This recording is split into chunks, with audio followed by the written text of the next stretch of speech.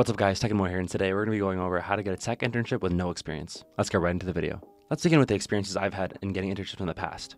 So for some background knowledge, I've had one SWE internship at a top 10 Fortune 500 company, and my next internship will be at a top 8 medical device company here in the US. These two experiences in applying for both of these internships give me a lot of information on how to actually apply to internships. The experience itself was really grueling, but I learned a lot from it, and I wanted to share that knowledge with you guys. So basically, the goal of this video is to guide you guys on how to apply to internships when you have zero experience on your resume or close to nothing.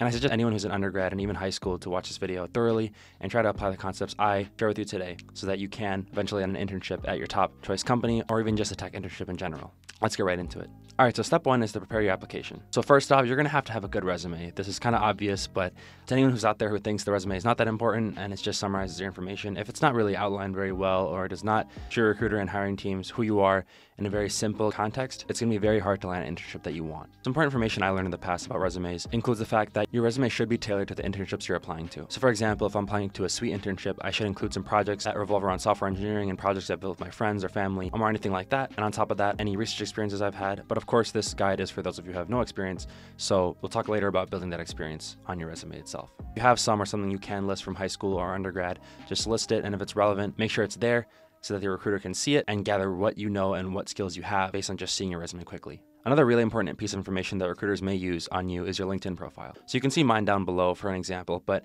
I strongly suggest your LinkedIn is very professional, very to the point, and has very relevant experiences, especially relevant to internships you're applying to right now. You want your LinkedIn to stand out, and of course, your LinkedIn can have more information than your resume because it does have basically infinite slots for stuff like volunteering, research experiences, work experiences, and so much more. So yeah, just to summarize, you want your resume to be very detailed, but also have enough information that's relevant to the job you're applying to. Now for step two, you have to target your opportunities. So if I was someone applying with no experience on my resume, I would start first with small companies and work my way up from there. So for example, if I have absolutely no experience on my resume and nothing to add to my LinkedIn, just some high school clubs for example, I would simply apply to local companies, uh, companies that are near my house or even my school and just try to get some experience on my resume in the first place. Most of the time, you're not going to land a FANG internship or a top 10 internship for your field right off the bat with no experience. You're going to have to expect a lot of uphill work from your first internship to get something like that. But to start off, it is completely okay, especially if you're a freshman or a sophomore, to work at a smaller company that is local and accepts more interns than, let's say, Google. And here's what I really want to emphasize.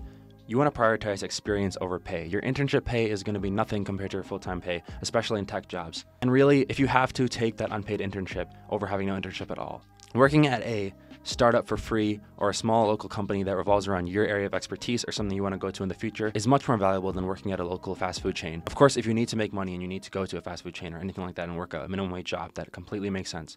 But if you have the opportunity to work at a startup or something that will add to your resume while working for free, I suggest working for free. That route will take you further, in my opinion. Now, with regards to being in undergrad and what you can do to add to your resume during that time, I would strongly suggest seeking relevant experiences. So, this can be anything from research experiences to other internships at your school, even jobs within different clubs.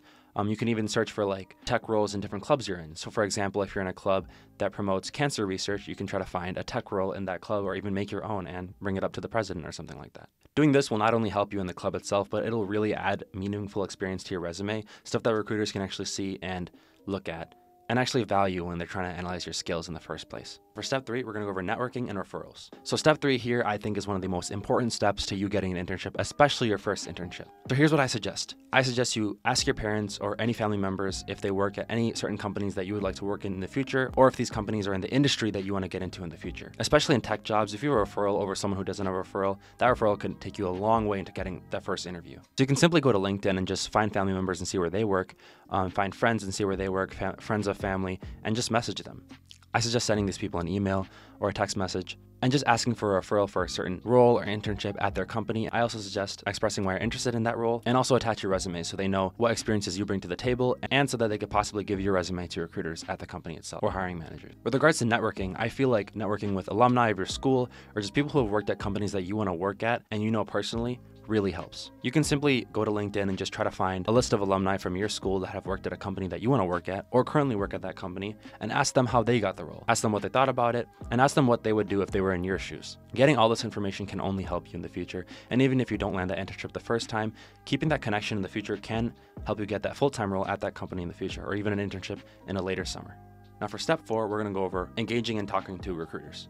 This step is very important in the early on stages of getting an internship. It might not be as important when you have a lot of experience on your resume, but when you first start out and have little to no experience on your resume, I strongly suggest going to career fairs and talking to recruiters at companies you want to work at. When you're a freshman, you may feel discouraged as companies tend to go for juniors and sophomores when hiring interns, but putting yourself out there and talking to these recruiters will only help you. For example, I spoke to many recruiters at my first career fair, and although I didn't get an offer or an interview, I did get to know the recruiter and add them on LinkedIn, keep them in my social circle, keep them in my network for the future, and even apply to the same companies the following summer after I had some experience that summer. This helps so much, and keeping these networks and connections will only help you in your long term career goals. So, yeah, I suggest trying your best to be engaging with the recruiter and trying to share your interests and why you'd be interested in working at, a, at, their company. After you speak with these recruiters at the career fairs, I strongly suggest you follow up with them on LinkedIn or email. After they give you their information or business card, email them or message them on LinkedIn and say that you're really happy with that they spoke with you and you enjoyed your conversation. And you can even ask if there are any further steps you can take to make yourself a stronger applicant for their role. Now, for step five, acing your interviews. Once you hit this step, you've gotten an interview. And once you get an interview, you know you've done something right. So you know your resume is probably pretty good, and your LinkedIn profile probably helped as well. So from here, it's all on your conversational skills and ability to be confident with the interviewer. Something I really like to emphasize with anyone who asks me questions about interviews is the fact that when you're in an interview, do not act like a know it all, please.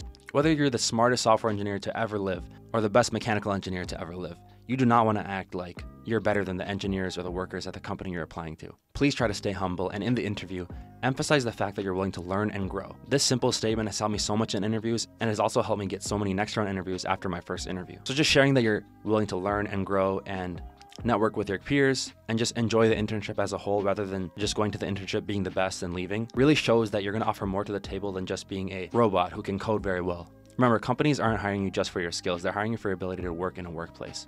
Although this video isn't tailored to SWE roles, I would suggest practicing LeetCode, and you can see videos on that on YouTube all over the place. I could do a video on it later, but just make sure to do some LeetCode practice before those coding interviews. But for anyone who doesn't have a coding interview for their internship, just practice interviewing with your friends, family, and even career workshops at your school if they offer them, and just practice speaking to someone or even to a camera. Doing that alone will help you a lot during the interview. Now for step six, I want you guys to take all of this that you've learned from this video and your experiences applying to internships and continue to learn from it. Even after taking all these steps, you may not land an internship that following summer. And that's okay. I want you to learn from every experience you've had, and especially from the interviews you've done. The more interviews you've done, the more used to them you will be. And you can take this experience to your next application cycle and just keep on going. Eventually, you will land one. I did mention earlier on the video about research experience and how it can help your application as well, and I'll do a separate video on how to get research experience as an undergrad with no experience as well. So keep an eye out for that video too. So overall, guys, I want to reiterate the fact that you really have to stay persistent, try your best, continue to apply. This is a numbers game, and apply these techniques in all your internship applications and interviews. And I feel like one day, eventually, you will land that interview. And from the interview, it's all up to you. Your conversational skills, your ability to be confident, and show that you want to learn will help you in the long run. Let me know if you guys land that internship in the comment down below, or even an interview or anything like that. If you have any questions, please comment down below as well. I'll respond to all the comments below. All right, that's it for the video. Make sure to like, comment, and subscribe, and I'll see you guys in the next one. Bye.